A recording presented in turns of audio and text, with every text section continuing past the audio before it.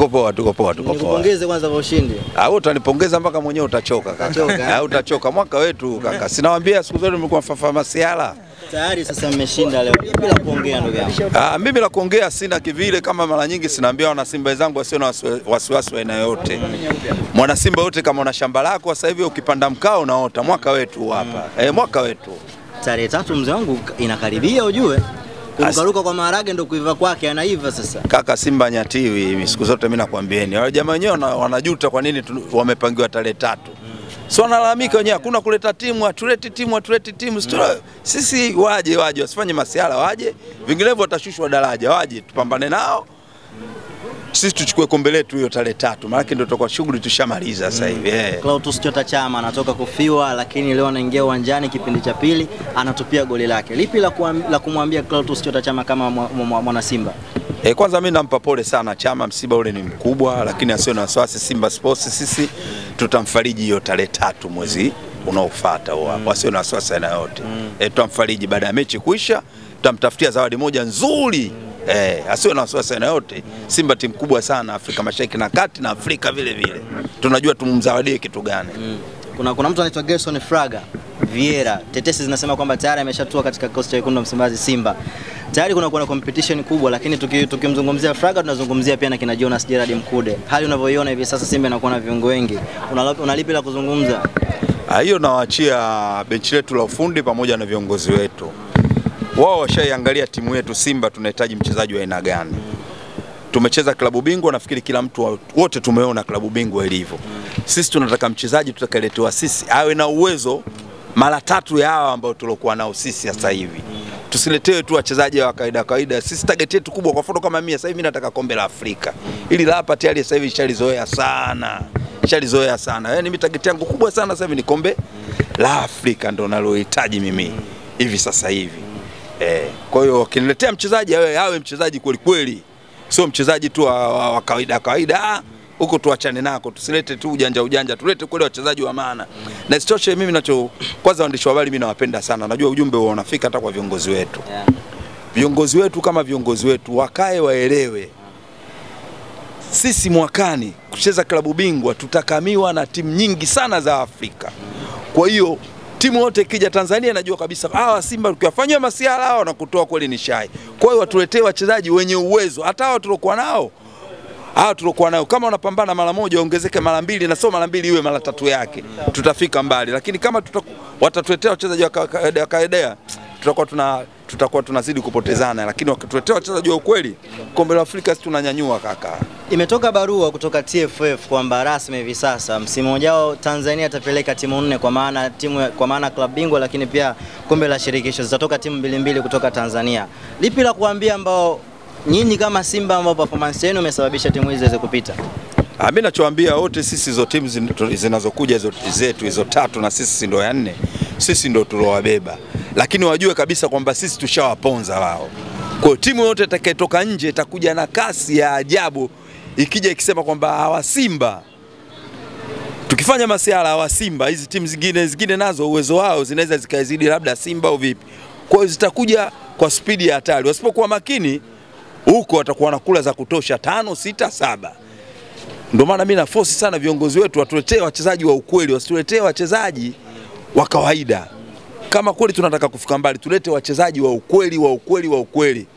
Haya mambo unakuwa na mchezaji si mechi moja anakosa goli nne, goli tano, tuachane nayo. Tulete mchezaji mechi moja nafasi mbili. Ah, hiyo hata kama hujui kusoma picha na mwenyewe unaiona. Tunachotaka sisi mchezaji akipata nafasi mbili basi hakikishe katumia mbili zote au moja katumia. Simba nyati, Simba sio kuku, pasi milioni. mimi nikushukuru bwana. Ah, pamoja pamoja, tukutane Songea. Ah, Kwema sana. Hongera sana kwa ushindi wa magoli ya leo manne. Ligi Ah, mimi napenda kusema kwanza asante sana. Eh. Asante sana kwa timu kwa ujumla kwamba imepambana. mm. Tumepata matokeo ambayo matokeo mazuri, maana ushindi wa goli nne mm. ni ushindi mnono sana. mm. Alafu kielekea kwamba tuna gemu ngumu mbili zimejipanga, mm. gemu ya zidi ya Azam ya FA na tuna gemu zidi ya mtani wetu tarehe tatu. Mm. Kwa hiyo matokeo ya leo mimi naamini kabisa yameongeza morali, mm. yameongeza morali kwa Simba kuelekea mechi zijazo, naamini tutapata matokeo mazuri. Kipindi cha pili mnapoteana katikati, tunaona Simba ikitafuta matokeo kwa tabu sana. Mbeya City wanafika golini kwenu, lakini pia tunamshuhudia Beno Kakola mnavyofanya, mambo kama anakuwa si mambo hivi. Inasemekana kiwango chenu cha kipindi cha pili kinawapa confidence wapinzani, wanaona Simba sasa hivi ya kawaida. Ah, kipindi cha pili ndo aliomba kidha chifu mpira uishe, kipindi cha pili hicho hicho. Kwa hiyo mimi naamini kwamba unapoona Simba labda kama inafanya vibaya, hiyo ni game plan. Sometimes timu inapoa sehemu fulani, ndio maana kuna walimu wanasimama dakika 90 pale, kwamba ukiona labda Simba inapoa katikati, labda kuna mistake imefanyika, ndio maana kuna sabu, kuna maelekezo ya mwalimu. Kwa hiyo mimi siamini kwamba labda Simba inakata, inakata upepo, kitu kama hicho hakuna. Mimi naamini Simba ni klabu bora na itazidi kuwa bora na ina wachezaji ambao wazuri wanaweza kuitupeleka Simba mbali zaidi. Yes. Kuelekea tarehe tatu anakutana Simba na Yanga hapo, mechi ambayo ilikuwa na vurugu vurugu nyingi, makando makando mengi. Sasa yao yao yanaelekea kuwa, unalipi la kuongea na wana Simba na wana Yanga pia? Ah, mi kama ninavyosema kwamba wana Simba si tupo hai morali, yani morali uko juu kuelekea tarehe tatu. Mimi naamini nakwenda Songea, si napata matokeo, ninafuzu kuingia fainali, tunarudi kwa Mkapa. Mimi nataka tarehe tatu, tarehe tatu Yanga waje, Yanga waje, wasimsikilize mzee Mpili. Soka la mzee Mpili ndo wao akina marehemu mzee Kilimali, soka lao lishaisha. Kama mimi angeongea injinia tuleti timu, ningeona da kweli Yanga inayumba. Wasimsikize mzee Mpili, walete timu uwanjani tucheze mpira. Mi naamini sasa, kama wewe leo Simba kama Simba unaanza kuisomea kanuni, sijui kuna kosa gani, sijui sijui kanuni ya ngapi, atwendi uwanjani, alafu unataka uende kimataifa.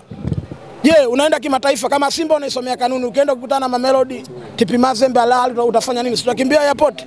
Kwa mimi napenda ili kama soka lao liendelee, wafike mbali, wasiogope mpira. Hao mambo ya kusoma kanuni yote ni uoga tu. Yaani yote kwa yote kwamba Simba iko moto na wao Simba wanaiogopa. Simba imeshinda goli nne kwa moja, wao wameshinda goli tatu dakika ya tisini na tatu ndo wanapata ushindi. Yaani sawa na ma, tuseme ni maiti iliyopiga chafu ya Monchwali, maana mpira ulikuwa anaisha Yanga anafungwa, lakini mi, miujiza ya Mungu, sijui yale magoli yametoka wapi. Mimi yule golikipa mimi hadi leo simuelewi yule golikipa wa Mwadui.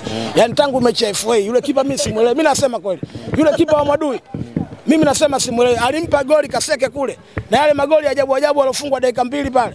Mimi nasema wale Yanga wana mazingira lakini mpira hawana. Mpira wao ndio ule hadi wa dakika 89 Mwadui anaongoza. Kwa hiyo mimi napenda niwaambie, mimi siwatishi. Simba akamaliza mpira anaongoza goli nne. Kama wakiogopa waogope, lakini wakija watafungwa tu. Mimi sina maneno ya kulembesha lembesha.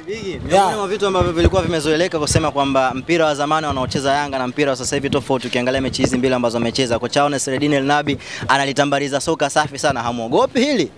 Soka lile la dakika 89 Yanga anaongozwa goli anaongozwa goli kwa Mkapa ndo soka lile. Yanga kufunga matatu matatu, sasa hivi anaingia Yaani matatu yale utapata huko kwa madui tu. Lakini unapokutana na Simba dakika 89 ukishakufa ukishakufa goli kama zile yani jiandae kuongezwa. Mimi nikwambia kitu kimoja kwamba Yanga hana mpira wa kuifunga Simba na Yanga hana kikosi cha kuja kuisumbua Simba. Si tarehe tatu tunakuja kutangazwa kuwa mabingwa kwa mara nyingine tena. Yaani wakae wakijua waje waje, lakini wakija kwamba wanakuja kuja kutufanya Simba tunatangazwa kuwa mabingwa, hakuna kutuzuia.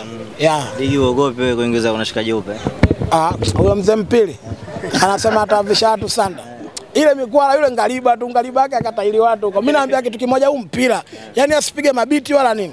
Yeye kama anaweza kuwavisha watu sanda aje hapo amvishe sanda Chama, amvishe sanda Mixon. Eh, mimi nakwambia kweli tucheze mpira, masuala mabiti mabiti, watu waogopi mabiti. Sisi napiga mpira baba. Ndio maana Simba hii hapa ukizungumza Afrika Simba inaogopa. Kwa hiyo sisi hatuogopi maneno ya mzee Mpili, sisi tunaamini tuna kikosi, waje kwa Mkapa tarehe tatu tuje kuonyeshana umwamba. Huo moto wa Prince Dube auogopi hiyo baba? Dube, Dube kwanza kiatu apate, kiatu akiwezi kwenda Chamazi, kiatu kifuate Kariakoo. Yaani kiatu utakikuta Kariakoo kwa Msimbazi kama sio John Boko Medical Girl. Kiatu akiendi Chamazi, kubali maneno yangu na kukwambia Dube achukui ufungaji bora. Sawa, lakini hiyo mechi ya nusu finali una wasiwasi wote kule Songea? Uko Songea? Yule Dube anatuliza utamtafuta yule. Mimi nakwambia kweli. Neno tutatafutana. Utanitafuta after game, mimi nitakuwepo Songea. Utatafuta kweli. Eh, amini mimi nakwambia Dube atoboi. Na kama akitoboa goli lake kama la Mbeya City 4 kwa moja. Eh, haina shida.